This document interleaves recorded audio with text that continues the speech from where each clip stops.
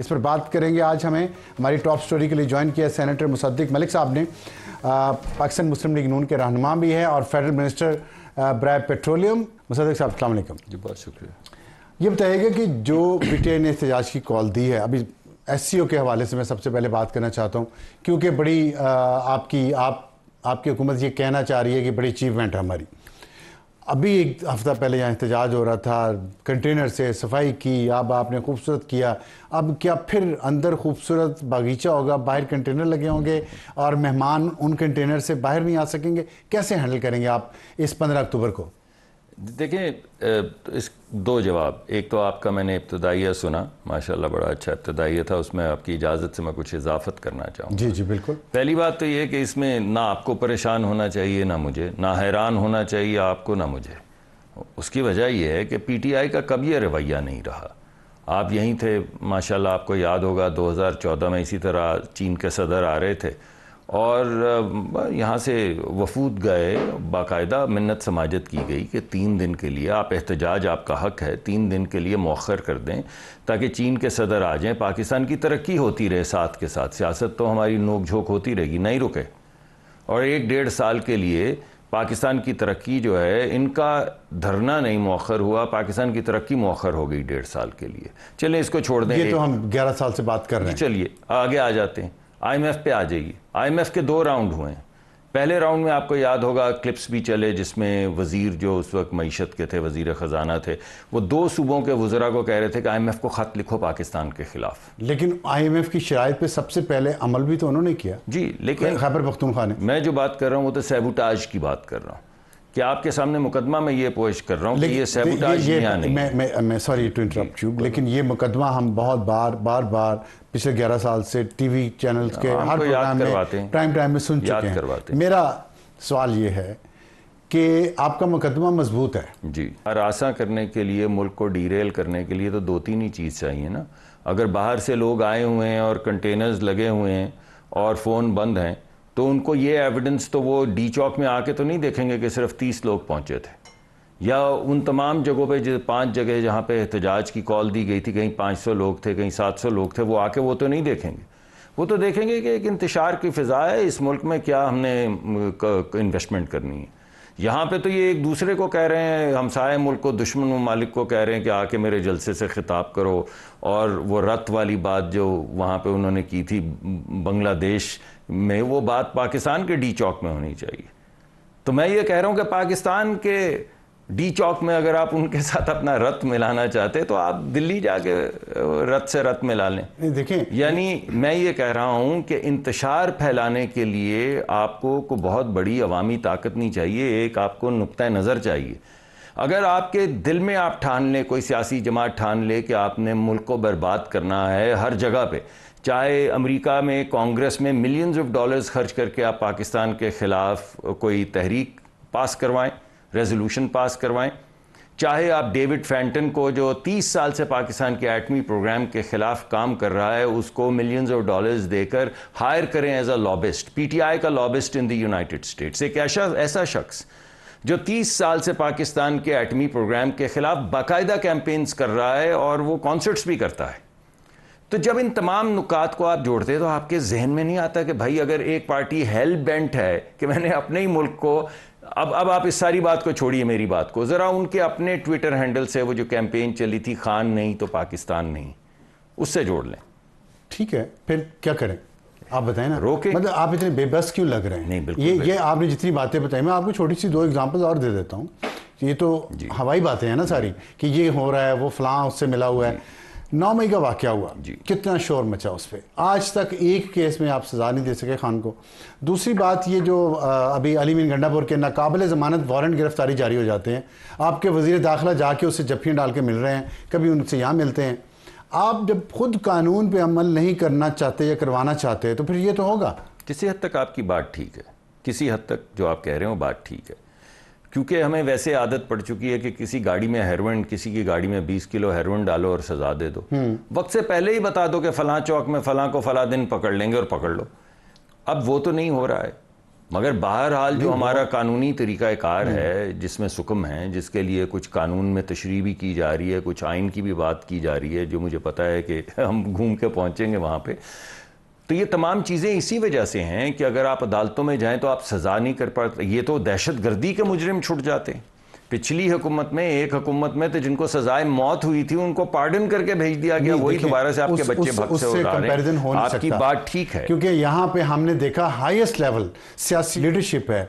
उस की तरफ़ से 9 मई के वाकयात के बारे में कहा गया। एक एक सेनेटर है अमेरिकन कोई लॉबिस्ट है उसके ताल्लुक हैं तीस साल से पाकिस्तान मुखालिफ प्रोपेगेंडा कर रहा है। इस बात को आप सियासी तौर पे तो इस्तेमाल कर सकते हैं। कानूनी तौर पे तो ये नहीं कर सकते ना। कानूनी तौर पे नौ मई है।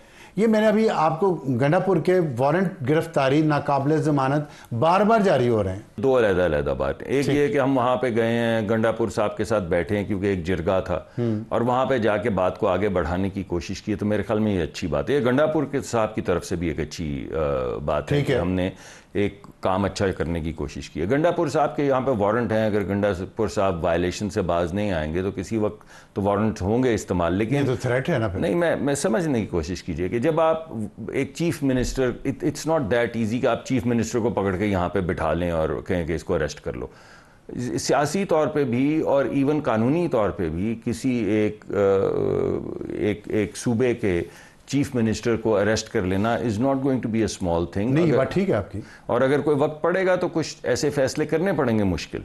लेकिन मैं ये समझता हूँ जो दूसरी बात है वो ज़्यादा अहम है कि हमारा जो कानूनी तरीका कार है जैसे ये सवाल मुझे रोज़ फ़ील्ड करना पड़ता है और एम्बेरसमेंट होती है। कि भाई आपने ये नौ मई के मुजरमान जो हैं मुलजमान जो हैं उनको सजाएँ अभी तक क्यों नहीं हुई हम्म। हमारे यहाँ जो तरीक़ाकार हैं जिनके ऊपर चलते हुए तीन साल लग जाते हैं दो साल लग जाते हैं किसी मुकदमे को अपने हतमी नतीजे पर पहुँचने तक अनलेस सुप्रीम कोर्ट के किसी जज को ताई की तैनात उसको ताई, ताई उसको लगा दिया जाए कि आप इसको सज़ा करवाएँ। और एक लोअर कोर्ट के ऊपर सुप्रीम कोर्ट के जज जहाँ पे हतमी अपील जानी है जहाँ पे अल्टीमेट अपील है वही जज सज़ा करवा रहे हैं। अगर ऐसा कोई इंस्ट्रूमेंट आप इस्तेमाल करना चाहें तो फिर दो चार महीने में सज़ा हो जाती है। वरना पाकिस्तान के कानूनी तरीक़ाकार जो हैं आपका ये जो क्रिटिसिज्म है ये बरहक है। नहीं देखिए वो तो बात गैर कानूनी थी गैर आइनी थी। आप आज तक उसका शिकवा भी करते हैं। तो आपको उस रास्ते पे तो नहीं चलना चाहिए। तो देर लग रही है नहीं, नहीं इसीलिए सिर्फ़ तो, इसलिए देर नहीं, नहीं इसीलिए देर लग रही क्योंकि पाकिस्तान का जो तरीक़ाकार है अदालती निज़ाम है इवन हमारी पुलिस की जो इन्वेस्टिगेशन और वो तमाम चीज़ें उनको आप पुश भी करते हैं तो तब भी हमारे यहाँ डिलेज होते हैं। नहीं तो फिर उसका फिर सियासी कॉस्ट तो है ना। आप जितना मीशत पे कह रहे हैं हमने बड़ा कारनामा अंजाम दिया है तो फिर ये सियासी अदम इसकाम के साथ क्या आपको फ़ायदे मिलेंगे और लॉन्ग टर्म कैसे मिलेगा? देखिए फ़ायदा हमें मिलेगा या नहीं मिलेगा ये तो जब, को, जब, जब इलेक्शन हुआ तो उस वक्त बहुत ज़्यादा क्रिटिसिज्म किया गया तो मियाँ शबाज शरीफ साहब ने पीटीआई को कहा कि आइए आप हुकूमत बना लें। आप चलाएँ मुल्क तो चलाना है ना। हम्म। भाई ये तो नहीं करना कि मैं भी नहीं खेलूँगा और तुम्हें भी नहीं खेलने नहीं वो तो ये कह रहे हैं कि आप नए इलेक्शन करवाएँ या हमारी सीटें हमें दें जितनी सीटें आए ना जी एक सीटों का तरीक़ाकार है। आपको दावत दी और पीपल्स पार्टी ने कहा आज हम पे फॉर्म 47 45 का आप गिला करते हैं। हम्म। तो आप अपनी सुपरविजन में करवा लेते हैं ना। आपको दावत दे रहे थे कि आप आके हुकूमत बनाएँ ताकि ये जो हुकूमत की जो एडमिनिस्ट्रेटिव आपको ताकत चाहिए होती चीज़ों को आगे बढ़ाने के लिए वो आपके पास होती। तो आप बना लेते ना। आप उन्होंने आपके ख्याल में उन्होंने क्यों नहीं बनाई होगी? इस वजह से कि इस वक्त उनका मकसद सिर्फ़ अदम इस्तेकाम है। नहीं तो आपके ख्याल में आज भी जो खैबर पसूनखा की जो हुकूमत तो बनाई है ना एक वफाक की नहीं बनाई। क्या वो सूबे को इस्तेमाल करना चाह रहे थे एक लसानी बुनियादों पर वफाक के खिलाफ? जी कर रहे हैं। अभी ये जो गुफ्तु चल तो रही है खतरनाक बात है आपके सामने वो वो अल ऐलान ये खतरनाक बातें कर रहे हैं मुझे ये बताएँ कि आपने अभी सऊदी अरब का लेकिन जो मैं बार बार आपसे कह रहा हूँ कि डिफीटिस्ट नहीं है क्योंकि नुआंसेस होती हैं कॉम्प्लेक्स ये जो डेमोक्रेटिक अरीना है बड़ा कॉम्प्लेक्स होता है। तो आपके पास जब इस तरह की कोई चीज़ें होती हैं तो या तो बहुत हाई हैंडेड काम करें जिसके बाद फिर नतज आपको काफ़ी भुगतने पड़ते हैं या आप आवाम के पास अपना मुकदमा लेकर जाएँ। और आहिस्ता आहिस्ता अपनी कारकर्दगी के ज़रिए और एक नैरेटिव के ज़रिए भलाई के ज़रिए मुल्क को सामने रख के लोगों का दिल जीते लेकिन अगर एक तरफ़ आप अपेरेंटली हाई हैंडेडनेस दिखाएँ और दूसरी तरफ़ डबल गेम भी कर रहे हो तो फिर तो मुल्क तबाह होते हैं ना। चंद एक लोग तो उसमें फ्लरिश कर जाते हैं। कायम रहते हैं अपने अपने उहदों पे लेकिन मुल्क हाई डबल गेम ज़रा मुझे समझाइए। यही आप अब आप पीटीआई वालों से जाके पूछे वो कहते हैं हाई हैंडेडनेस है आप कहते हैं नहीं है। तो कहीं ना कहीं तो है ना कि वो एहतजाज एक दिन हो रहा है दूसरे दिन नहीं हो रहा। एक दिन नाकाबिल जमानत वारंट गिरफ्तारी जारी हो रहे हैं दूसरे दिन जपियाँ डाली जा रही हैं। तो ये नहीं नहीं मैं मैं इसको एक तरफ़ तो अगर आप इजाज़त दे तो वजाहत करना चाहूँगा। देखिए बात यह है कि नौ मई का हवाला और 2014 मैं दोबारा से नहीं जाऊँगा क्योंकि आप कहेंगे आप पुरानी तारीख की तरफ़ जा रहे हैं। नौ मई तो अगरचे कोई पुरानी तारीख नहीं है, लेकिन बहरहाल। एक ऐसी पार्टी जो 2014 के अंदर भी ये तमाम काम कर चुकी हो, पार्लिमान पे हमला, पार्लिमान पे कब्ज़ा, पी पीटीवी के ऊपर विक्ट्री के निशान वगैरह वगैरह। और 9 मई को भी कर चुकी हो। और उससे पहले ये इमरान खान गाड़ी में बैठते हुए ये कह भी चुके थे कि मैं ईंट से ईंट बच जाएगी, मुझे गिरफ़्तार करेंगे। तो फिर 9 मई हो गया, ईंट से ईंट बजाने की कोशिश की। ऐसी पार्टी जब ये कहे कि हम आ रहे हैं, हम बलवाई लेकर आ रहे हैं, हम जेल तोड़ के अपने कैदी छुड़ा के ले जाएँगे तो फिर वफाकी हुकूमत के पास ऑप्शन नहीं रहती उसको रोकने के सिवा। जब वो ये कहें कि हम आ रहे हैं और हम इस्लामाबाद पे कब्ज़ा करेंगे और किसी का बाप भी हमें नहीं रोक सकता तो फिर उनको रोकना ज़रूरी हो जाता है। और यही इस मरतबा किया गया। उनको शहर से बाहर रोका गया। वो किसी गली कूचे नाली से होते हुए अगर के पी हाउस तक पहुँच भी गए एक आदमी या पाँच आदमी या दस आदमी तो कोई बात नहीं। मगर जो वो दावा करके आ रहे थे कि ये बुलवाई देखो गिरेबान चाक पटा गले में कि हम ये कर देंगे हम वो वो ये वे तो नहीं कर तो सकते तो अभी पंद्रह अक्टूबर को अगर वो फिर आए तो फिर, तो फिर रोक देंगे। फिर तो फिर रोक देंगे। फिर ये कॉन्फ्रेंस कैसे होगी? बिल्कुल अच्छा लगेगा। कंटेनर्स बाहर रोकेंगे। हा? बाहर रोकेंगे। बाहर से मुराद है शहर से बाहर रोक देंगे। शहर से बाहर रोक देंगे? रोक देंगे। इतना शहर को रोक देंगे। बिल्कुल रोक देंगे और यहाँ पे हाई हैंडेडनेस करनी पड़ी। जी बिल्कुल रोकना पड़ेगा ताकत से रोक वरना आग लग जाएगी। आप आपकी गाड़ी बाहर खड़ी है। यहाँ पे अगर बुलवाई आ जाए जैसे हम्म। अभी एक पुलिस अफसर शहीद हुए हैं वो कह रहे हैं आपको हम कब्जा करने आ रहे हैं। हम्म। तो आप छोड़ दें फिर। आने दें। तो फिर वो कब्जा करेंगे, किसी का बच्चा जल जाएगा। पहले भी तो अस्करी टावर को आग लगाई थी तो फिर किसी टावर को आग लगा दे को अंदर सोया होगा, चौकीदार तो जल के मर जाएगा तो क्या है? अगर लोगों की गाड़ियाँ, जो लोगों के जानो माल की हिफाजत, वफाकी हुकूमत को करना है तो फिर आप जिसको हाई हैंडेडनेस कह रहे हैं, हमें वो प्रोटेक्शन अपने लोगों को भी, अपने मेहमानान को भी अभी आपने देखा बाहर से आए हुए मेहमानों पे हमले हो रहे हैं। हम्म। तो हम क्या इधर खुला छोड़ दें कि वो गनमैन जो आपको उन्होंने दिखाए थे जो फायरिंग कर रहे थे रास्ते में पेशावर से आते हुए जो अफगान जो आके इतराफ़ी बयान दे रहे हैं कि हमें अफ़गानिस्तान से बोला अफगानिस्तानों को पाकिस्तान के मामले में अफगान क्या करने आए थे? और ये असला लेकर कहाँ जा रहे थे? तो क्या खुला छोड़ दें? नहीं आ तो- जाएँ आप ऐसा करें कि ये हमारे कुछ मेहमान हैं और ये हमारे अपने कुछ बच्चे बच्चियाँ हैं आप चूज़ कर लें और उनको तबाह कर दें उनकी जान की हिफाजत भी हम पे मुकर नहीं माल की हिफाजत भी हम पे मुकर नहीं ये नहीं हो सकता। तो जो यहाँ से फुटेजेस जाएँगे एक तरफ़ समिट हो रही है हम रोक लेंगे और मीडिया पे भी पाबंदी जी मीडिया पे पाबंदी की बात नहीं मैं कर रहा हम रोक लेंगे। अभी आपने मीडिया ने सब दिखाया है। नहीं मैं कह रहा हूँ एक तरफ़ समेट सब रहान बैठे हुए होंगे दूसरी तरफ़ ये आगे रहे होंगे शहर से देखिए आपके पास सिर्फ़ तीन ऑप्शन रह जाती मैं तीनों आपके सामने रख देता हूँ। एक ऑप्शन ये है कि आप जाके घुटने टेक दें रियासत घुटने टेक दें। एक ऑप्शन ये है दूसरी ऑप्शन आपके पास ये है कि आप रेट ऑफ़ द स्टेट को असर्ट करें शहर के बाहर ताकि शहर के अंदर जो आपने अपने मेहमान बुलाए हुए हैं आप उनकी हिफाजत कर सकें और अपने बच्चे बच्चियों की भी हिफाजत कर सकें। यह आपके पास दूसरी ऑप्शन है। तीसरी ऑप्शन आने दें। जैसे आप कह रहे हैं क्या फ़र्क पड़ता है? आ जाए। ठीक आके आग लगा दें को दो तीन लोगों को मार दें पाँच सात को जला दें कोई हर्ज नहीं है। इन तीनों ऑप्शंस में एक रिस्पॉन्सिबिलिटी तो पीटीआई की है। जैसे मैं पहले पूरे सीक्वेंस से एस नहीं है सिर्फ़। अभी उसके वज़ीर आज़म मलेशिया के यहीं थे, जब यहाँ पे ये तमाम हंगामा शुरू हो गया था। और ये के का जो आया है, वो उसी की अभी वो क्लाउड्स थमे नहीं हैं, जब ये पूरा हमने कन्वेंशन किया है और दो इशारिया, दो बिलियन डॉलर के मुआदे की आपकी बहुत तारीफ़ हुई है उसमें कि आप तो वहाँ उनको भी एडवाइस करते रहे और यहाँ आप इतना बददिल लग रहे हैं, इतनी बड़ी कामयाबी के बाद भी सऊदी अरब के साथ। मैं तो बिल्कुल बददिल नहीं हूँ जी। एक तो ये कि ये उनका बड़ापन था।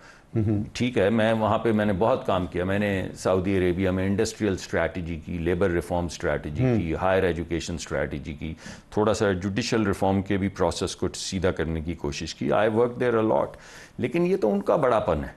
कि वो यहाँ पे आके किसी भी पुरानी बात को रिकग्नाइज करें वरना क्या ज़रूरत थी ऐसी बात को रिकग्नाइज करने में? इसमें को मेरी को बड़ाई नहीं है। मैं समझता हूँ वो साहब जो रिकग्नाइज करें वो लीडरशिप ये उनका बड़ापन है। मैं शुक्रगुजार हूँ उन्होंने एक बात की उनको ज़रूरत नहीं थी ये बात करने की। हम्म। लेकिन कोई यहाँ पे बददिल नहीं है।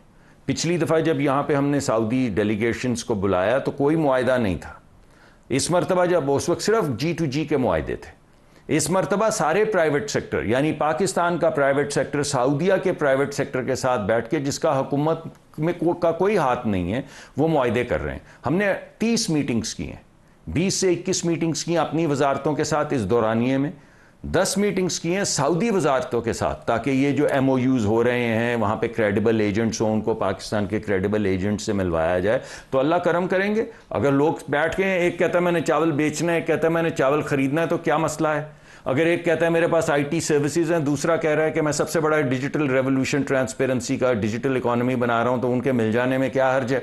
अगर एक कहता है कि मैंने बिलियंस लगा दिए हैं और दुनिया की बेहतरीन सॉकर टीम्स खरीद ली हैं, और दूसरा कह रहा है कि मेरा फुटबॉल तो हर दफ़ा वर्ल्ड कप के अंदर इस्तेमाल होता है और दिखाया जाता है, उनको मिला देने में क्या हर्ज है भाई? हर्ज और मसला। आपने बहुत अच्छा इसका एक सीक्वेंस बनाया। वो है पीटीआई का एहतजाज। आपसे बहुत अच्छा हमारी गुफ्तु रही आज की और ज़ाहिर आइनी तरमीम पर हम बात नहीं कर सके। टाइम हमारे पास कम था। बहुत शुक्रिया।